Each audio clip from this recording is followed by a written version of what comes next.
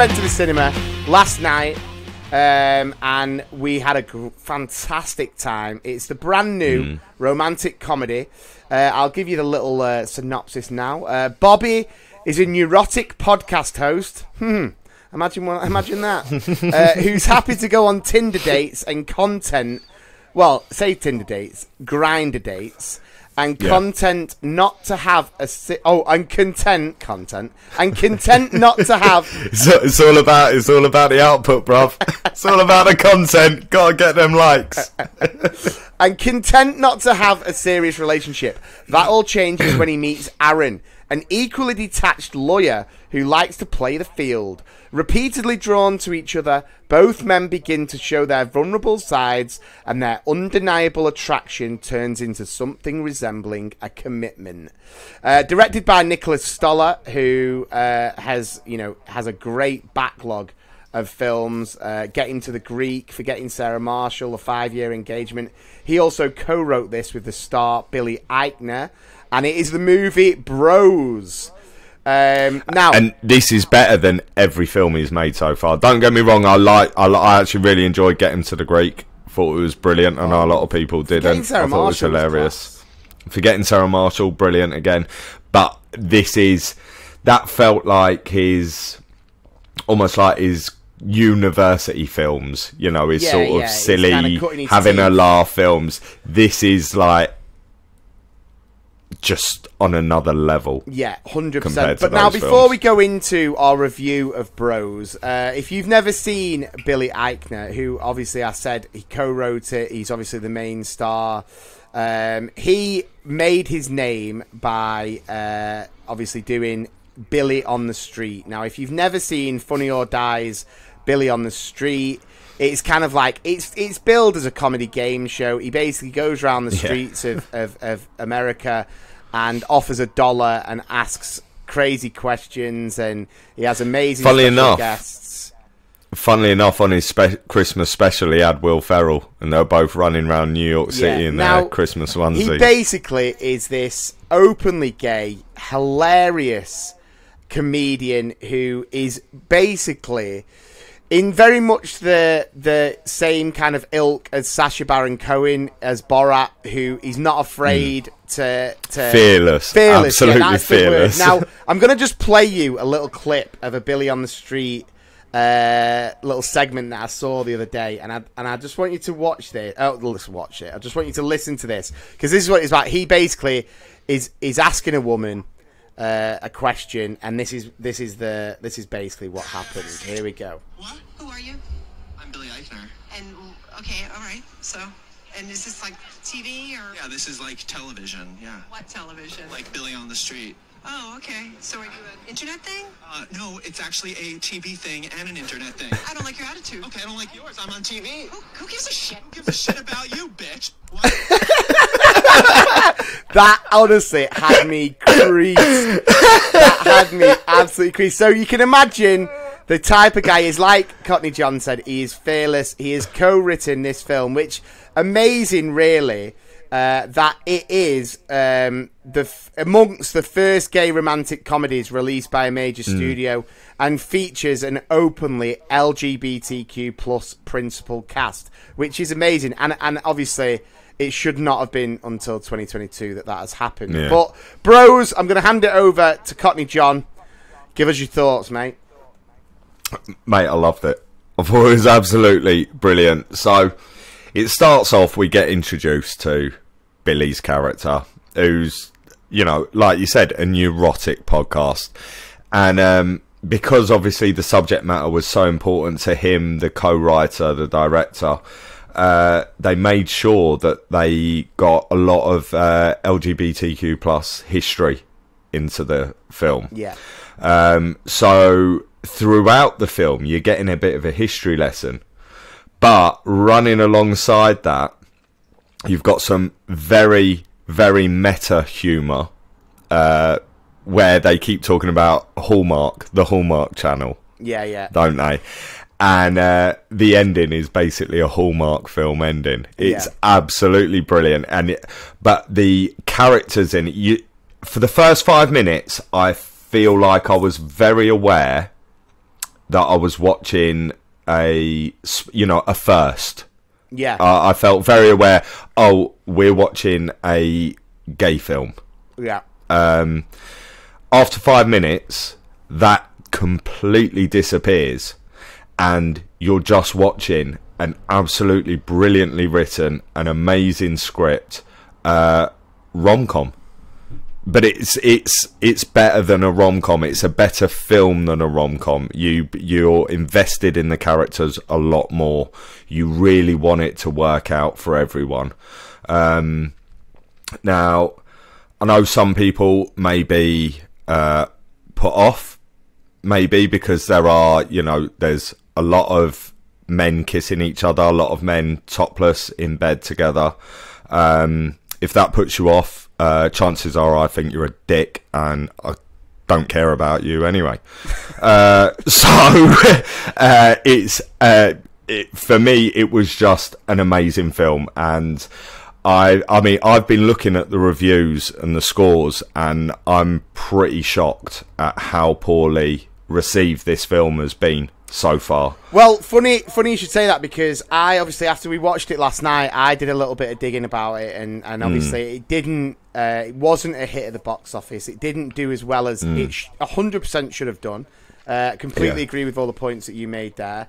And actually, before the movie was released, um, it was seen that it was getting trashed by homophobic people, by idiots, and Right, they were okay, yeah. basically driving the scores down. Now, this is why this is why we hope that Adam and Cockney John's Big Movie Podcast will give you from the front line an honest view, an honest view from two Hmm. honest guys. Uh, obviously, you go on like Rotten Tomatoes or uh, you know IMDb, and people can go on there, and if they dislike the actor or they dislike the content Hmm. or whatever it may be, they can drive the scores down, which will mean that you might search the film and go, "Oh, is this worth a lot?" Listen, if someone proposes a film to you, you go on the internet, don't you? You type it in, no Yeah. spoilers, but you might see, "Oh, it's got, it's only got forty five percent on Rotten Tomatoes." You, listen, if you fancy the film, I always say this: go and watch the film, just to give it a go. Speak to hmm. people who have seen it. Listen to this podcast, and we will tell you. Bros is up there for me as one of the best rom coms I think Yeah. I've seen in recent times. And just forgetting the subject matter, hundred percent. it's it breaks hilarious. Down, it breaks down. it breaks down boundaries. It breaks down walls. It's it's. Uh, I can't think of the tr- not trend setting. What's the word I'm thinking? Yeah, it could be trendsetting. Trend yeah. setting. Yeah, it's it's it's absolutely hilarious for one. So if you are looking Hmm. for a laugh, Bros will deliver tenfold. If you're looking for Do you know heart, what? it will deliver tenfold. If Hmm. you're looking for escapism for an hour and a half, it will deliver. It's I think it's absolutely brilliant. I think if anyone has been put off by that, then you know, grow up. We're in 2022. Sort your lives out. It's absolutely brilliant. The stars were fantastic. It had heart. It had comedy. It had absolutely everything. And the funniest thing is, um, we went to see it last night, didn't we? And it was Yeah. it was pretty it was pretty quiet. I know Man United were playing at the same Mm. time, so commi- commitment from me for missing the game. It's rare. Um, but we were sat on the back. What about row. me? Well, you don't know who are they playing. Football. exactly. Everyone listening to this, exactly. Who were they playing? Football. That's all you need to know about Cockney John's knowledge of the beautiful game. But we went in there and we sat at the back and we were we, we were we were both up for it because we're, we're fans of Billy Eichner anyway, fans of the director. It was always going to be decent. And then two women came in just before the start and they sat on the back hmm. row just a few seats up from us. and it got to uh, you know the first five ten minutes introducing the characters was really quick was really funny. It kind of set the tone of what to expect. It was it was basically dared to go where other films have probably been afraid to go and to Yeah, be as yeah. openly honest about homosexuality and, and lgbtq plus uh, issues. And basically within the first 50 or I- inside 15 minutes there is a a passionate scene between two mm. men, and these two women just stood up and left. They didn't. They just stood up and left. And the worst bit about it was it was hilarious. Yeah, the scene in so question funny. is so funny. It's so funny. and it, I mean, listen, each to their own. Maybe they thought that you said a funny line. Actually, what did you think you thought that they were watching, or they thought they were watching what? You don't remember a funny line you came with, do you? Nah, So I mean, I'm always funny. no, you're not. This was a rare. this was a rare funny line. You said, "I bet they thought they were watching a Bros documentary." Oh god, yeah. which, which to be fair, is well funny because obviously Bros spelt like the famous, uh, you know, eighties, nineties band Bros, and um, yeah, they just got up and left. But uh, we, uh, Adam and Cockney John's podcast, we are allies. We are, you know, we absolutely support LG, LB. Uh, LGBTQ plus, and I bet they're well chuffed to have us clowns as allies. Listen, listen, we are we are here for it, and we you know we we watched that, and we were you know it's weird. I was in a weird way just happy and proud that something like that has been made now, and it's out there, and, Yeah. and people can go and watch it, and it can it can open doors for other people and things like that, and I'm hoping that that's what it does. But let's get to the ratings, mate. Uh, Because this, this obviously has been given a glowing review from us. It has, yeah. Um, so, uh, Cockney John, how many Sandys is Bros getting? Well, I've changed mine You've because changed yours. I I left the cinema, and this is how good I think this film is, and how important I think it is. I left the cinema, and I was like, so four, solid four all day. Now, there's a bit in the film, a very small subplot, uh, where Billy is talking to one of the other characters about education of children uh, regarding LGBTQ and that sat with me all of last night and sort of halfway through the day and i it has actually caused me to go back through all my planning for sex education because as a lot of the listeners will know i'm a teacher my day job uh, at primary schools and actually alter the way i am teaching the understanding of lgbtq plus uh, to younger children Okay. um, I feel like I was looking at it uh, in the way the character was in the film, right. and it's really the film. I completely agreed with the points that were made in the film, and it has made it has had an effect on my life where it's changed. It's influenced me to change something that I'm doing.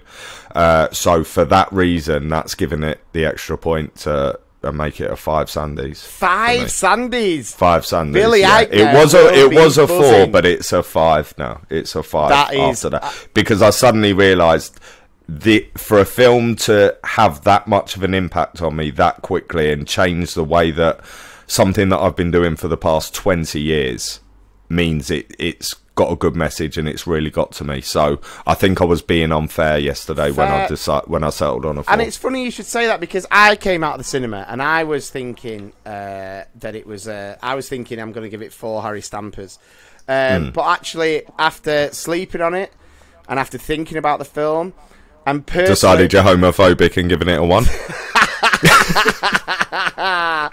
Imagine, absolutely not. It- it- to be fair, the opposite. It, it, it obviously, you know, we are allies. We've always been allies, and it's not that. But I think the the way they did it, and obviously, it is raunchy and it is rude and it is out yeah, so there. it's an adult an adult Yeah, rom com. But I, I was giving it a four just because obviously I think a five, you know, needs to be pretty much bang on perfect. But when I reflected on it and I got home, and this is how I always judge movies when I don't watch them with my wife, I always think, uh yeah, it was all right, like, and then and then it'll be a case of you know, you you probably won't watch it because I won't watch it again, kind of thing. Yeah, and it was very similar to you know how I felt when I came out of Top Gun Maverick was where I got home and I said to Kim, right, we need to book and go and see it because you need to see this film. And I said to Kim, Right. I said to Kim, you need to watch this film. Now, obviously, it probably won't go to the cinema again because trying to get childcare is a nightmare. But when it becomes available to download to, to watch, obviously it's not it's not a blockbuster, as in you don't need to see it on the cinema. But I think it's extremely important that people watch it. I think people Yeah. who like comedy should watch it, and I think people who maybe need to just open up their mind a little bit more need to watch it. And I thought it was so well done and so funny, and I think how invested you are in that love story. And I'm a huge rom com fan. It's probably up there in one of my favourite genres. This is up there for me as a rom com, and for that reason, I am giving it five Harry Stampers. So You're going five as congratulations, well. congratulations, bros! Congratulations, Billy Eichner, uh, if you're listening. and Luke Mc- and Luke Macfarlane. Don't forget, Luke Macfarlane was incredible. Absolutely brilliant. So there He you have it, brilliant. Bros, the brand new romantic comedy out this year, recently out. It should be available to stream very shortly. I know it's available to stream in America.